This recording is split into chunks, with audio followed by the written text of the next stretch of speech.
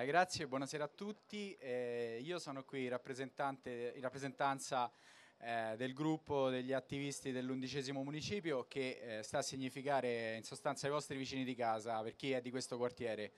Eh, l'undicesimo municipio comprende il territorio diciamo, fra la via Portuense e la via della, via della Magliana fino ad arrivare a Fiumicino, quindi un territorio molto vasto che conta oltre 150.000 abitanti. È un territorio, il nostro, dove in passato è stata fatta, del quale in passato è stata fatta carne di porco dalle amministrazioni. Eh, noi il nostro è un municipio prevalentemente composto da periferie, è un municipio dove pertanto abbiamo tutti i problemi connessi a quel tipo di eh, situazioni e eh, diciamo eh, pertanto è un quartiere dove eh, non sempre la qualità della vita è quella che uno si aspetterebbe in una capitale europea. E io eh, personalmente sono infatti nato in una borgata, che è la borgata del Trullo, non propriamente magari eh, quella però eh, un quartierino che era un po' come un piccolo paese e che è adiacente alla borgata del Trullo.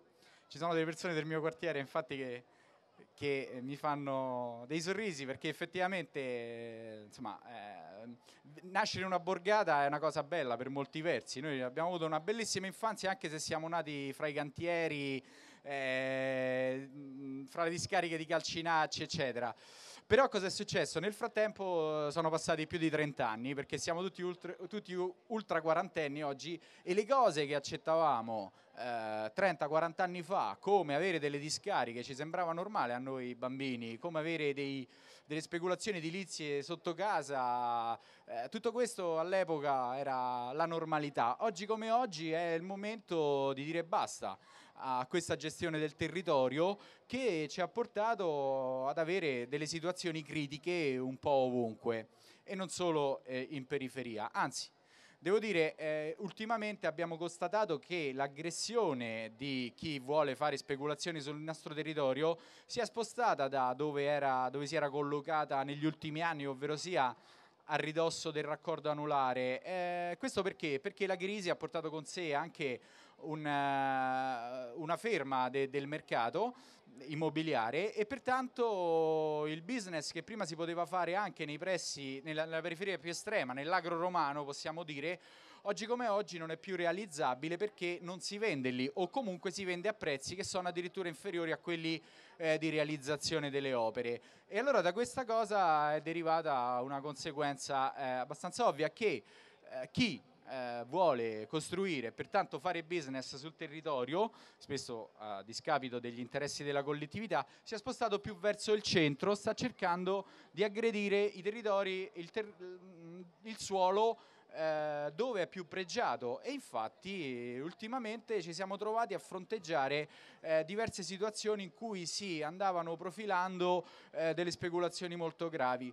Eh, ovviamente parlo innanzitutto del quartiere Marconi. Il quartiere Marconi che già di suo è complicato perché è un magma cementizio, è stato definito, eh, senz'altro uno dei quadranti più inquinati di Roma purtroppo ed è uno di quelli più densamente popolati. Ora in questo quadro le amministrazioni sia di destra che di sinistra, lo sappiamo, hanno deciso di edificare ancora, di creare, altro, di creare altre abitazioni senza minimamente curarsi del fatto che la nostra città non è in grado di sostenere uno sviluppo del territorio di questo tipo, ma anzi va ridimensionato. La densità abitativa, eh, la produzione di smog, eh, di agenti inquinanti, perché bisogna puntare di più alla qualità della vita dei cittadini, per cui eh, non, non, ci può essere una buona qualità della vita se eh, i nostri quartieri, le infrastrutture che lo compongono, e parlo delle scuole, parlo delle strade, parlo dei marciapiedi, eh, eccetera, eccetera, non eh, sono all'altezza eh, di standard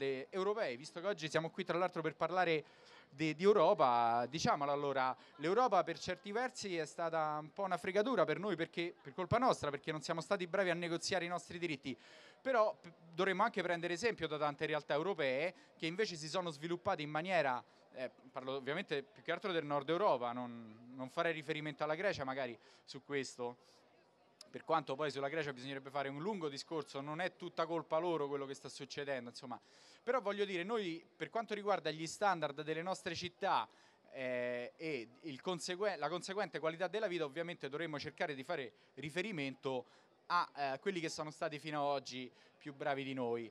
Eh, naturalmente noi stiamo cercando di opporre una strana res resistenza a questa recrudescenza del, eh, diciamo del cemento che si sta per, per, manifestare sul nostro territorio.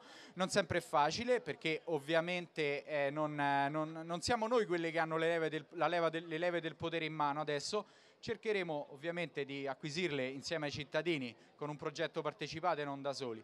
E a proposito di progetto partecipato, adesso ce n'è uno in corso proprio a Viale Marconi che riguarda il Parco Papareschi e riguarda eh, appunto questo fazzoletto di terra. Ho usato il termine Parco Papareschi, in realtà è abbastanza improprio, si tratta di un percorso pedonale, non so se mi spiego, insomma eh, si tratta di un, un fazzoletto di terra di meno di un ettaro ma tenete presente che un ettaro di verde a Viale Marconi è veramente tanto, perché lì non c'è nulla. Ora, eh, noi stiamo cercando di partecipare alla progettazione di questo parco e vi devo dire, al di là di come andrà, perché non sappiamo se poi questa progettazione, eh, sapete, eh, la progettazione partecipata è ancora una cosa in via sperimentale, diciamo così, e rientra anche quella in una normativa europea eh, in termini di proposte che, diciamo, Mm, fa parte delle linee che ti dà l'Europa per come devi gestire le progettazioni di qualsiasi cosa. È ancora in via sperimentale, per cui non sappiamo nemmeno bene noi quali saranno i risultati, però vi posso dire una cosa, a questa progettazione partecipata stanno, stiamo partecipando soprattutto noi, noi del Movimento 5 Stelle e gli attivisti del gruppo dell'undicesimo municipio che stanno dando un contributo preziosissimo, mentre al contrario purtroppo gli altri cittadini spesso si disinteressano, ma non, non voglio però dare la colpa a loro, dico soltanto che probabilmente non credono più in quello che le istituzioni potrebbero loro dare perché si sono disamorati, perché si sono rassegnati e questo è il sentimento che noi dobbiamo combattere prevalentemente, quello della rassegnazione. Non ci dobbiamo rassegnare ad avere sempre quello che fino ad oggi ci hanno dato, perché noi possiamo e dobbiamo ottenere di più, però ci vuole anche un po' di coraggio, bisogna anche saper lottare. Ora eh, lo stiamo facendo effettivamente, lo stiamo facendo in maniera pacifica, lo stiamo facendo in maniera civile, lo stiamo facendo con delle idee, stiamo portando avanti delle idee e non soltanto eh, diciamo delle critiche, che pure le critiche ci vogliono, perché ovviamente come puoi oggi come oggi non criticare quello che avviene sul nostro territorio, la maniera in cui si spartisce la cosa pubblica fra persone che eh, si dichiarano parte delle istituzioni ma invece sono, eh, si comportano in realtà da parassiti e se si sentono parte delle istituzioni mh, mm, eh, non è perché si mettono al servizio di queste ma perché le vedono come una cosa che gli appartiene. Questo ovviamente è sbagliatissimo. Eh, a questo proposito vorrei fare riferimento a una situazione che in questo momento è diventata estremamente critica io credo in tutta Roma, faccio riferimento al mio municipio perché io raccolgo le, mm, le, le lamentele, le, mm, il, mm, diciamo, il grido di dolore del, del, mio, del territorio dell'undicesimo, ma quello che sta succedendo adesso a livello di scuola, nel, mio, eh, nel nostro municipio, è qualcosa che un anno fa non mi sarei aspettata. Adesso ecco, è passato un anno dall'inizio di questa consigliatura. E, se ci mettiamo anche la campagna elettorale a partire da febbraio dell'anno scorso, siamo a un anno e mezzo diciamo, di impegno proprio sul territorio a tambur battente. E devo dire, ho riscontrato che anche eh, quella categoria degli insegnanti che una volta ci vedeva come qualcosa di sospetto, adesso si sta avvicinando a noi, perché anche lì eh, vediamo che la situazione è arrivata a un punto in cui la sopportazione è, non, non è più possibile e ci stanno contattando tante persone che fanno parte del corpo docenti, educatori, eh, insegnanti, ci hanno contattato tantissimi genitori e ci hanno contattato persino i dietisti e credo che ce ne sia qualcuno anche oggi qui. Eh, perché? Perché nella scuola nostra, la scuola nostra sta spaventosamente abbassando gli standard qualitativi. Questo non lo dobbiamo permettere, non lo dobbiamo permettere perché si può risparmiare su tutto, ma non sulla salute e sul futuro dei nostri bambini. Dare una scuola cattiva ai nostri... Io non ho figli, però eh, capisco, credo di essere in grado lo stesso di capire il problema. E togliere il futuro a loro, metterli al mondo e poi lasciarli come delle persone senza un senso critico, perché questo è quello che succede quando la scuola non funziona, significa consegnarci ad un futuro incerto e triste da paese del terzo mondo. Questo assolutamente non lo dobbiamo permettere.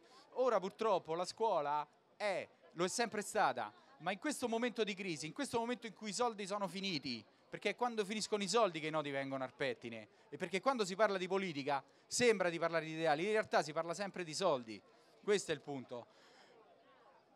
Purtroppo la scuola, come dicevo, è sempre stata, ma lo è oggi ancora di più per questa situazione contingente, diventata il terreno di scontro interno alla maggioranza. La maggioranza ovviamente intendiamo la sinistra. Adesso ci sono una serie di, di faide in corso, una serie di regolamenti di conti, una serie di spartizioni che sono rimaste in ballo, che non sono chiare, che eh, stanno occupando eh, l'agenda politica, io credo in tutti i municipi, ma nel mio sicuramente. E allora vediamo situazioni critiche in cui delle scuole vengono chiuse, altre vengono aperte senza una reale spiegazione. Faccio l'esempio della Quartararo. La Quartararo è una scuola che sta alla Magliana. È una scuola che è stata incendiata sei volte. È stata incendiata sei volte nell'ultimo mese e mezzo, quando non era mai stata incendiata prima. Ora, fermo restando che appare sempre strano che venga incendiata una scuola, al di là del vandalismo, pure semplice, è veramente singolare che un edificio pubblico che è sito in un punto visibile del quartiere Magliana perché non sta eh, in mezzo a un bosco, non sta nascosta eh, da chissà cosa, la Quartararo è proprio eh, all'incrocio tra via della Magliana Nuova e via della Magliana Vecchia in un punto dove c'è solo lei quindi sta praticamente davanti alla caserma dei carabinieri per cui voglio dire, è un posto che si può presidiare, eppure è stato consentito a questi vandali, se sono vandali, perché io mi auguro che non ci sia una regia dietro, che l'hanno potuto incendiare sei volte di seguito. Quello che è successo alla scuola Vincenzo Cuoco, che sta a Viale Marconi, eh, una traversa, via Blaserna, ci sono stati ripetuti atti di vandalismo e furti anche lì dentro, senza che nessuno muovesse un dito. E ci hanno contattati i genitori che non ne possono più perché dicono una situazione del genere non è accettabile e non è possibile che si verifichi nell'indifferenza delle istituzioni. Non solo, non solo, riguardo sempre alla scuola eh, e grazie a dei ragazzi che, che fanno i, ehm, farebbero veramente, i dietisti, che hanno anche vinto il concorso al comune, ma non sono stati assunti e questo purtroppo è un punto critico perché eh, la, eh, questa è una cosa strana, è così, aver vinto un concorso non ti dà diritto al posto di lavoro, cioè tu sei titolare sei eh, vincitore di concorso, però eh, questo non comporta che tu debba lavorare e allora ci si domanda al concorso che l'avete fatto a fare? Tra l'altro, voglio dire, siamo di nuovo di fronte all'errore di prima. Noi andiamo a risparmiare dove? Sul nostro futuro. Questo è pazzesco. È pazzesco soprattutto se consideriamo quanti sprechi ci sono. Io in questo anno che sono stato lì ho visto buttare via una montagna di soldi, a parte quelli stessi de, de, che si sprecano proprio per l'amministrazione de, de, de, della struttura in sé, cioè del, del consiglio municipale, che costa l'ira di Dio. Costa l'ira di Dio perché ogni seduta costa migliaia di euro e quello si, si, si riunisce 40 volte l'anno. Quindi eh, voglio dire, e nessuno li vuole però rinunciare alle sue prerogative, per cui vogliono che c'è il vigile per cui pretendono che ci siano tutta una serie di comfort, li potremmo definire comfort per i consiglieri che lavorano là dentro. Tempo fa qualcuno l'avrà seguito perché l'abbiamo anche pubblicato sul nostro sito nazionale, quello di Beppe Grillo. Quando è venuto il Papa eh, Francesco in visita alla Magliana, un consigliere del PD, l'unica cosa che si è preoccupato di dire è stata ma c'è un posto riservato per noi consiglieri? Cioè, io voglio dire, ma sono questi i vostri problemi? Cioè, voi state lì a difendere le vostre prerogative, che sono prerogative anacronistiche, assolutamente superate dai tempi. E voi ancora siete proprio dei dinosauri, ma proprio non volete guardare avanti. Non mi stupisce comunque, perché queste persone che si sono formate all'interno delle segreterie dei partiti e delle scuole di partito, tu dimmi tu come possono pensare in maniera diversa rispetto lì se non, se non, se non ti lasci plasmare. Non, non, non avrai mai un incarico per conto del partito. Per cui tornando alle scuole, noi questo lo rivediamo anche nella scuola, perché per loro la precedenza è affermare quel senso di proprietà del partito rispetto a quella scuola, a quell'altra, a quella zona, a quell'altra, o a quel tipo di gestione della scuola, perché poi non entrano mai nel merito della didattica, almeno facessero questo, almeno si preoccupassero dei programmi, ma figuriamoci, gli interessa solo il plesso scolastico perché è lì che vanno i soldi. E allora questa scuola la devo liberare perché poi la faccio occupare dai miei amici, Oppure lì eh, c'è un'associazione mia amica che mi paga l'affitto, ma io gli trovo un altro legale in un'altra scuola, con la scusa magari che non è ristrutturato, gli faccio fare due lavoretti e quelli se la prendono. Questa è una sperequazione. È una sperequazione mentre invece non, si non ci si preoccupa della scuola pensando alla collettività. Noi abbiamo a Ponte Galeria una scuola in via Allievi Ponte Galeria è un posto veramente abbandonato da Dio. Non so se qualcuno qui ci vive. Non è che sia brutto come posto. A Ponte Galeria si potrebbe vivere benissimo se fosse gestito bene il territorio. C'è questa scuola a Via Allievi che eh, un costruttore che ha realizzato lì il piano di zona. Poi vediamo pure il piano di poi entriamo pure nel merito dei piani di zona. Però questo costruttore, uno dei pochi forse, il nido che era previsto come opera scomputo l'ha fatto e l'ha completato e l'ha messo a disposizione del comune. Il comune non lo vuole perché dice che non c'è i soldi per mettere gli arredi. E lì c'è gente che è costretta a portare il figlio a scuola nel municipio adiacente, nel, nel dodicesimo, oppure arrivare sulla Portuense, cioè infognarsi nel traffico ogni mattina. E c'è questa scuola lì, bella e pronta. Noi abbiamo fatto un'interrogazione sempre su segnalazioni dei cittadini, non ci vogliamo prendere chissà quale merito eh, i cittadini ci contattano, noi andiamo là, loro ci spiegano le cose, noi raccogliamo le altre informazioni che possiamo raccogliere noi e poi procediamo. Questa è la nostra rete, questa è la nostra forza. C'è questa scuola lì che è chiusa e è pronta. Ce n'è un'altra che sta a Via Pensuti alla Muratella, un altro piano di zona. Questa doveva essere la scuola più bella del mondo. È stato fatto un concorso internazionale eh, per costruire tre nidi a Roma, una alla Muratella, una alla Romanina eh, l'altro non mi ricordo dove, ma poca importanza, un posto vale l'altro. A Montesagro, benissimo, qui un abitante della Muratella lo sa, e, ehm, con un bambino piccolo.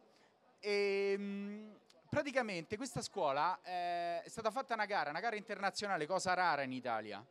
Cosa rara in Italia, una gara internazionale, quindi era stata fatta la cosa giusta. Eh, questi tre nidi saranno costruiti da due, da due architetti stranieri e uno italiano milanese il nido della Muratella appunto era questo italiano milanese. Cosa succede? Iniziano i lavori, viene fatto il cemento, viene fatta la struttura, fallisce la ditta che stava realizzando il nido. Praticamente da questa situazione per sette anni, otto anni, nessuno è riuscito a ridare slancia, a ridare impulso a quei lavori. Cioè, questa è incapacità manageriale, perché non esiste che eh, un'azienda fallisce, ti lascia il lavoro a metà, ma tu aspetti sette anni. Nel frattempo è andata in malora anche la struttura che era stata costruita. Quindi ulteriore sborso di denaro, ricominciamo da capo a 12. Adesso dovevano cominciare i lavori, pareva che fossero stati trovati i fondi, eh, che poi erano stati bloccati dal decreto del fare, per cui vediamo anche sovrapposizioni di poteri fra diverse parti dello Stato che si si contrastano a vicenda. Dovevano ricominciare i lavori, i lavori stimati in 540 giorni lavorativi, sono di nuovo fermi. Sono di nuovo fermi. E la gente di Muratella, che è un altro piano di zona, è ovviamente furibonda e dice ma scusate, ma io quando ho comprato casa qua, l'ho comprata pure perché mi avete detto che ci sarebbe stato un nido, perché mi, de- mi avete detto che ci sarebbe stata la succursale dell'Università Lewis, che ci sarebbe stata Fonopoli, per cui io pensavo di andare a vivere in una zona viva e vivace. E tante altre cose. A Muratella una, ci sono centinaia di discariche, perché la scusa è che poi queste scuse tautologiche che veramente eh, l'amministrazione pubblica non è, a, non è in grado di portare a termine un'opera o un quartiere, poi si giustifica per il fatto che non svolge la pulizia la nettezza delle strade in quel quartiere e come si giustifica dicendo è perché il piano di zona non è completato. Va bene, ma così eh, non se ne esce più. E queste sono le situazioni che troviamo purtroppo nel nostro quartiere. Ora eh, noi stiamo cercando di dare una spinta a tutti, ma c'è bisogno, come dicevo, dell'aiuto dei cittadini. Per tornare prima alla questione delle mense, noi siamo stati contattati da questi dietisti che ci hanno dato tanti elementi per lavorare. E noi abbiamo a parte abbiamo scoperto un mondo, per chi come me non, era, non è genitore, ovviamente nella mensa scolastica era rimasto ai tempi suoi. Quando si andava al refettorio e ti mangiavi quello che c'era, che però era un posto molto umano, le signore che ci lavoravano ci conoscevano per nome, eccetera, eccetera, è un altro mondo. Oggi come oggi, una mensa scolastica è eh, veramente un posto dove si lavora male, dove secondo me i bambini non hanno il giusto rapporto col cibo, che deve essere un rapporto anche educativo, e non soltanto, non deve andare lì solo per nutrirsi, dove il punto centrale è l'appetibilità, perché eh, delle vivande e non la qualità, e questo è un grave sbaglio dove si mangia a ritmi da catena di montaggi. I bambini mangiano, un quarto d'ora di pausa, mangiano un altro turno. Non è questa, secondo me, la maniera anche... E poi, senza considerare quanti sprechi e quant'altro. Ora, eh, noi stiamo cercando di lavorare su tutti questi fronti, non è facile, abbiamo bisogno dell'appoggio di tutti i cittadini. Se arriverà, sicuramente noi potremmo eh, spostare le cose, cambiarle e trovare delle soluzioni concertate con tutti quanti che siano veramente a favore della collettività. Lasciare questo status quo significa sostanzialmente eh, rinunciare, perdere, eh, rassegnarsi e accettare un domani, un futuro in cui il cittadino sarà praticamente zero, varrà veramente poco e sarà utilizzato solo come truppa cammellata quando fa comodo e, e per fini che certamente non coincidono con gli interessi della collettività e delle famiglie. Con questo penso di poter concludere il mio intervento. Eh, mi auguro di vedervi sempre più numerosi sia nel nostro territorio che in quelli adiacenti. Ci sono tantissime cose da fare e gli eletti da soli non ce la possono fare. Non ce la possono fare anche perché ostacolati da, da un sistema che tende e vuole autoperpetuarsi. Dobbiamo impedirglielo, ci vuole un rinnovamento, ci vuole un reset di questa, di questa Italia perché, affinché si riparta, e si riparta col piede giusto e con delle prospettive, perché adesso siamo senza prospettive. Grazie, buona serata a tutti.